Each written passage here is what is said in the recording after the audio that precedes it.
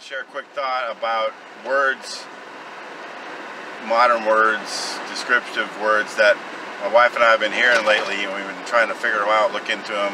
One isn't so modern because it's named after some Greek god, Narcissus. But narcissism and the more new one is gaslighting. And uh, we we have certain beliefs and we sometimes are kind of shy or we tiptoe around it because we're aware if we say these things, there's people who can be offended. And when I say people, I mean Christian people.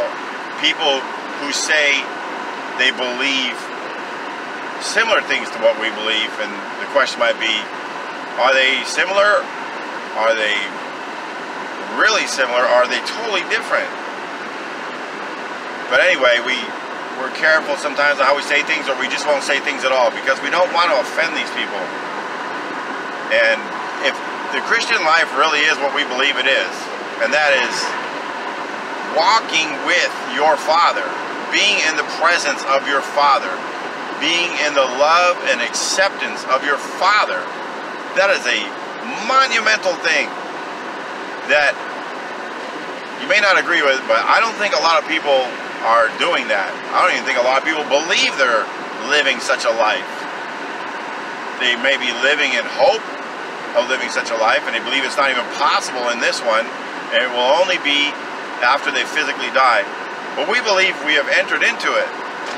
So we believe we're walking with our Father. And yet we find ourselves almost apologizing for that. Just sharing the joy that we have over this, the simplicity of who our God is. It's Jesus. We know Him. This is wonderful. Oh my God. Oh my Jesus. He talks to me. He's told me something. Let me tell you something. That, let me share with you.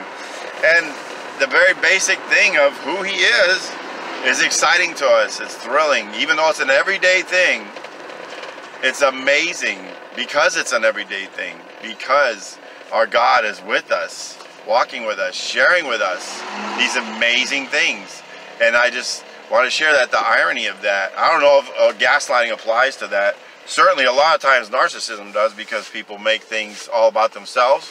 And if you do something that, even though it's great to you, it's offensive to them, and that's all that matters. Just like the way I explained something to someone once about my perspective about one of the aspects of when we left religion. This is basically an outline of what it was. Is we had these tremendous experiences, these these revelations, these epiphanies. Our God was showing us who He is, and more than well, side by side with that, He was showing us who He is, as in, if God is love, He was showing us His love for us that he was showing us independent of religion and all the things and the trappings and the activities of religion that he loved us. We do those things, we don't do those things, it didn't matter. He loves us, he accepts us, he gave himself for us.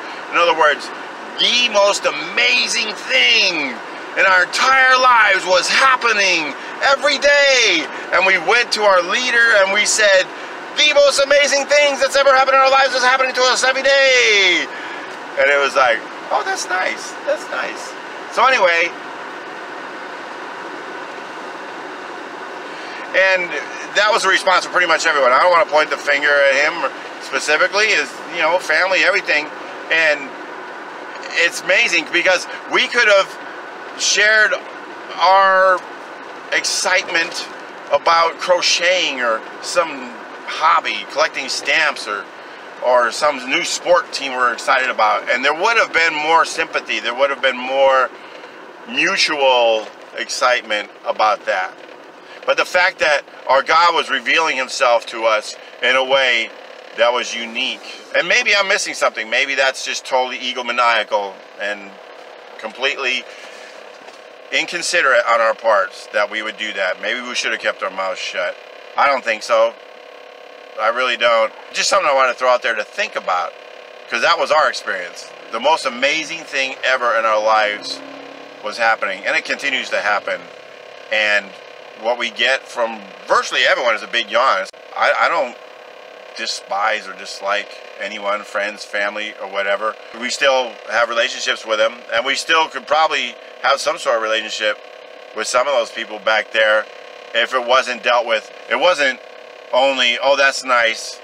Anyway, blah, blah, blah. It was, it was dealt with much hard, more harshly. We're not going to talk about that at all. We're not even going to discuss it because you will either believe that you are believing a lie and stop believing it, or that's it. So we'll just ignore you until you go away and get the message. And uh, yeah, that's it in a nutshell. Try to keep it short, and I went long again in Jesus' name. no, I didn't go long in Jesus' name, but I, I shared that idea about, I guess gaslighting was in there somewhere. Maybe you can figure it out. Have a nice day. God bless everyone. Jesus name. In Jesus' name.